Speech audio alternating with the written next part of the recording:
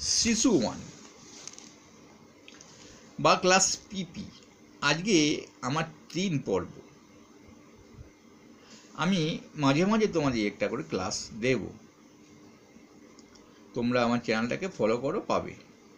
আমি আগের দুটো পর্ব দিয়েছি, কীভাবে বাচ্চাদেরকে পড়াতে হয়। আমি একটা ওয়ানের বই নিয়ে বসে আছি, যেটা সরকারি স্কুল থেকে দেয়া হয়।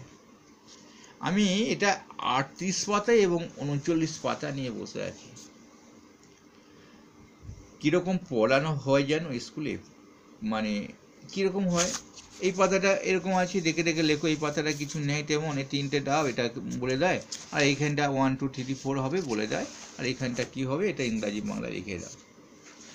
মানে এটা কটা চকলেট আছে বাংলায় লেখো, এদিকে ইংরাজিতে লেখো।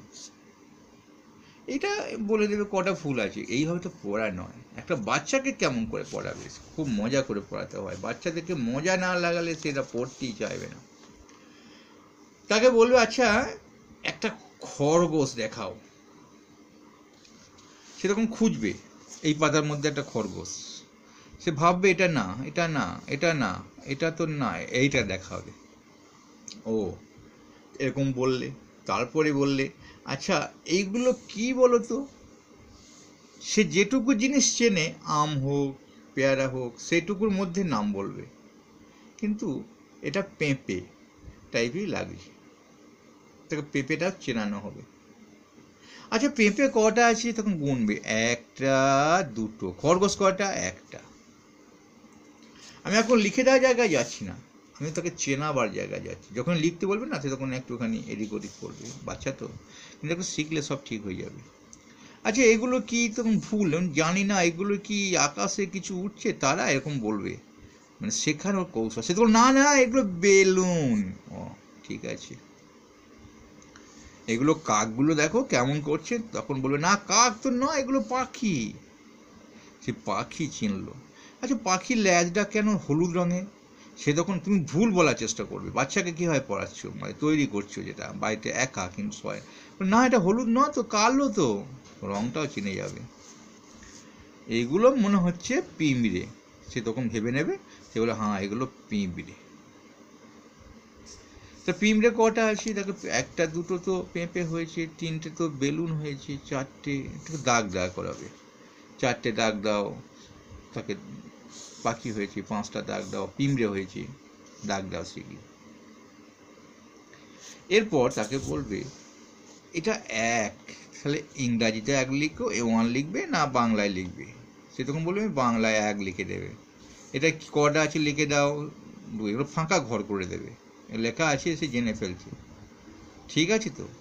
এটা ফাঁকা ঘর করে দেবে, তিনটা রাখবে না, খাটতে হবে একটু। এটা চারটে, এটা ফাঁকা ঘর, কটা আছে লিখে দাও তো, চার চার লিখে দাও। চার লিখতে পারে কি না? চারটা কিন্তু আমরা অনেকে ভুল লিখি, এরকম এরকম লিখি। না, চার এরকম করে লিখে নিয়ে এরকম হবে। আগে একটা এসের মতো হবে টেস্টটাকে এরকম হবে। ভুল শেখাবে না। এটাকে ঠিক করে আবার মানে ভুলটা ভুলতে আবার অনেক টাইম লাগে।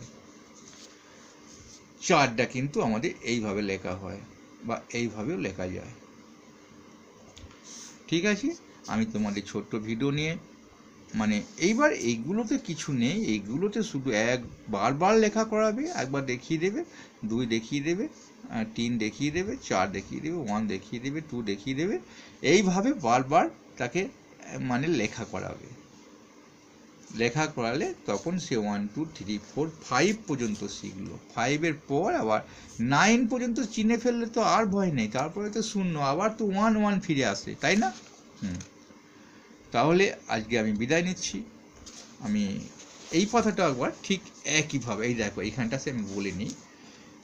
কটা চকলেট গোনা করা করাবে এটা চকলেট দেখাও চকলেট দেখাও করে নেবে, চকলেট চিনে গেছে। তো এক, দুই, তিন, চার, পাঁচ, তাহলে এখানে পাঁচ লেখা করাবে এখানে ইংরাজিতে যদি পারে ফাইভ লেখা করাবে চারটে ফুল, চার লেখা করাবে যদি পারে, ইংরাজিতে চার লিখবে। তিনটে পাখি, তিন লিখলে এদিক যদি পারে ইংরাজিতে থ্রি লেখা করাবে।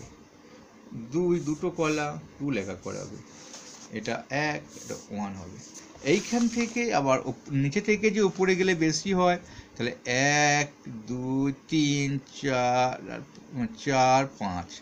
তাকে, না, এদিকটা বাংলায় হবে, এটা কিন্তু ইংরাজিতে। One, two, three, four, five, এদিকে কিন্তু বাংলা। একের পর দুই, তিন চার এটার মধ্যে অনেক কিছু শেখানো আছে। যেখানে বলতে হবে এগুলো দাগগুলো কী দাগ এইগুলো গোল দাগ, এটাকে কি বলে? তীর চিহ্ন বলে। এখন এখানে শেখা যেতে পারতো যে পাখি এর কটা করে পাপড়ি আছে। এগুলো শেখানোর একটা ছবির মধ্যে থেকে খুঁজতে হবে, অনেক কিছু পাওয়া যায়।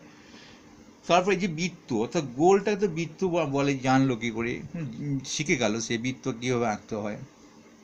তারপর দেখো মানে বলে এখানের মধ্যে কটা ঘর ফাঁকা ছিল? মানে লিখে ফেললাম তো। এক, দুই, তিন, চারটে ঘর ফাঁকা ছিল। একা এটাকে ইংরাজি, এদিকটা ইংরাজি লিখব, ইংরাজি অক্ষর কোনটা? এটা ইংরাজি অক্ষর, এটা বাংলা অক্ষর, এটা বাংলা অক্ষর দুই। এইভাবে তাদেরকে কালচার করতে হবে। যত শেখাবে, একটা বই নিয়ে, তত সে শিখবে। গল্পের আকারে, ছবির আকারে, ভালো লাগলে অবশ্যই লাইক করবে।